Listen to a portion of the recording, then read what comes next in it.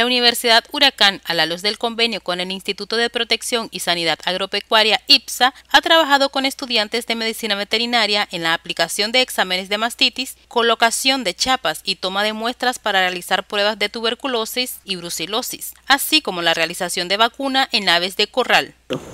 Nosotros en el marco de un convenio que tenemos con el IPSA, desde la dirección superior, el ministro director del IPSA eh, solicitó a Huracán que preparáramos una brigada de estudiantes de medicina veterinaria para apoyar, hacer un proceso de la campaña para la extracción de muestras para la aplicación de una vacuna para evitar tuberculosis, como también hacer un proceso de vacunación del ganado.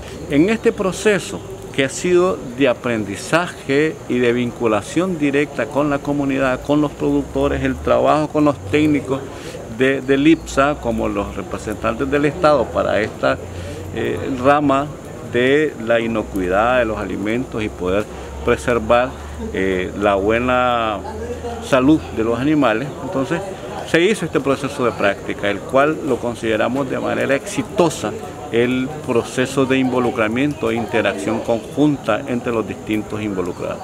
Nosotros como Instituto de Protección y Sanidad Agropecuaria en conjunto con la Universidad de Huracán eh, andamos en visita ¿verdad? y en trabajo en esta finca del productor eh, donde andamos en coordinación con los muchachos aquí, los estudiantes del Huracán y los técnicos para eh, estamos haciendo el segundo muestreo de la finca, ¿verdad? revalidándola segundo muestreo pues para entregarle lo que es el certificado de finca libre de brucelosis y tuberculosis. Pero no solamente hacemos eso, sino que también que ellos andan haciendo prácticas de vacunación de, aves, eh, desparasitación del ganado, vitaminaciones, eh, descorne, eh, prueba de mastitis, muestreo de serológico para la eh, muestra de brucelosis, aplicación de tuberculina, para eh, así poder ¿verdad? Eh, certificar esta finca. Pero también tenemos, eh, hacemos otras prácticas, pues, ¿verdad? como lo que es en la parte de manejo sanitario, ¿verdad? del calendario sanitario que lleva el productor, el registro.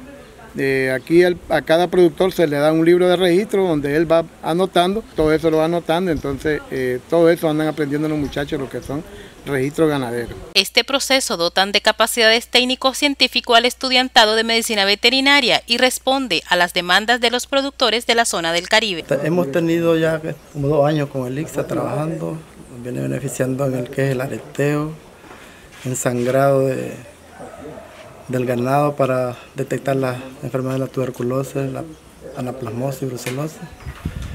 Y este lo dan, están dando por un certificado de de la finca que están libres de esas enfermedades. Los han beneficiado con inseminación artificial de, animales para mejorar el, el, acto que tenemos los animales, la raza. Tenemos compromiso con los muchachos que vienen aquí, estudiantes, a, a, su práctica y nosotros podemos escuchar y aprender un poquito de lo que no sabemos sobre enfermedades, sobre cómo las técnicas y, y saneamiento del ganado, el aseo y pues algo aprendemos cada vez que venimos a ellos. La experiencia en el campo es única, ya que es como la realeza de la teoría de, en base a nuestra carrera. También es importante lo que es la relación con, con los productores, con diferentes tipos de personas, las relaciones que tenemos con ellos. La verdad me pareció súper importante lo que hizo la, nuestra universidad, Huracán, que fue una alianza con el IPSA, una institución del gobierno, tanto como ellos nos ayuda también lo que es la parte de la educación, nosotros nos recreamos más, aprendemos más, porque no todo es teoría,